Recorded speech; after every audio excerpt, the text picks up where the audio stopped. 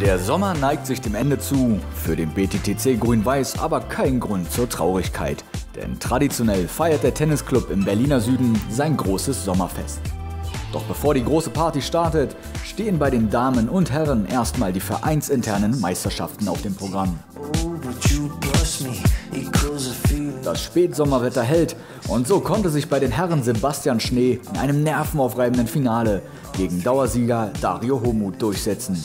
Nach knapp zwei Stunden Spielzeit hieß es dann Game, Set und Match für den 22-Jährigen, der schon seit seiner frühesten Kindheit im BTTC Grün-Weiß aktiv ist. Also es ist der erste Sieg für mich hier, deswegen, wir haben ein bisschen drüber gequatscht. Letztes Jahr habe ich im Halbfinale verloren, das hat mich sehr geärgert. Und da habe ich gesagt, nächstes Jahr machen wir das. Aber deswegen war es umso wichtiger, dass ich dieses Jahr dann den Sieg nach Hause gebracht habe. Parallel schenkten sich auch die Damen bei ihrem Finale nichts und so wurde Tennis auf wirklich allerhöchstem Niveau geboten. Am Ende setzte sich Lena Althammer mit 2 zu 1 nach Sätzen gegen Vorjahressiegerin Benja von Barani durch und krönte damit eine erfolgreiche Saison.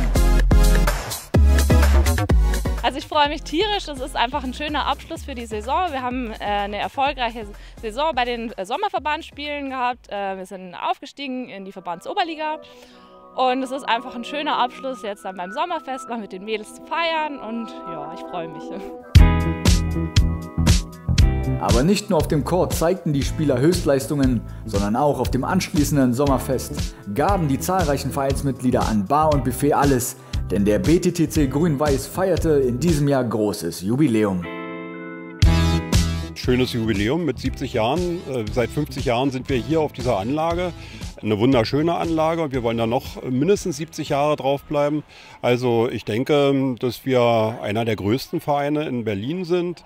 Wir haben 13 äh, Plätze draußen und wir haben drei Hallen und von daher äh, haben wir eine gute Basis, glaube ich, auch die nächsten 70 Jahre gut zu überstehen.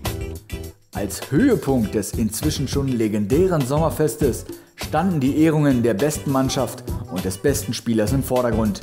Bei ausgelassener Stimmung wurden die ersten Damen des BTTC als beste Mannschaft ausgezeichnet.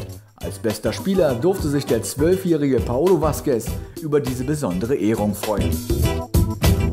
Ja, ich finde es auf jeden Fall sehr toll, weil ich habe in denen äh, jetzt gerade, habe ich jetzt nicht halt immer, habe ich da gehofft, dass ich auch mal werde. Ja, und jetzt habe ich es halt geschafft.